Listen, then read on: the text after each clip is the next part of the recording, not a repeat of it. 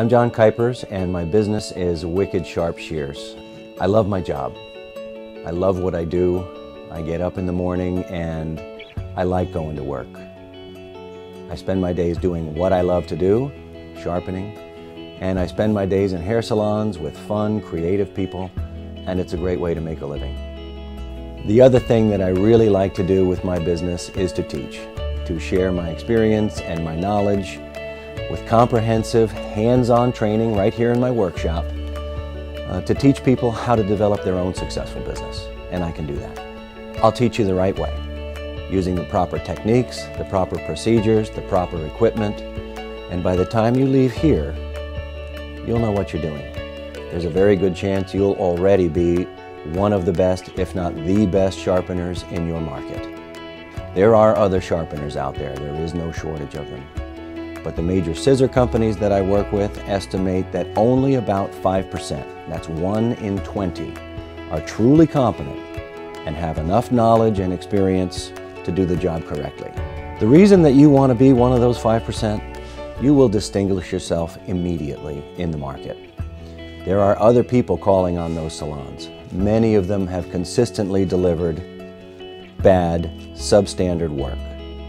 And when you show up and you can deliver consistently high quality work, you're going to be remembered and you will be invited back and you will become the sharpener of choice. And stylists will tell their friends that you know what you're doing and your business can grow. I can teach you how to do that. What we do primarily is to focus on the modern hair styling scissor. It's not like the scissors of old. It's a very specific and delicate tool and it needs to be treated accordingly. That's one of the differences that you'll get with my training. The first essential part of a good sharpening is the use of a flat honing machine. And the flat honing machine is what we use when we're creating a new edge. We do that with various grades of abrasives. We'll start with a rougher abrasive and move through various polishing stages until it shines like a mirror, like a brand new shear.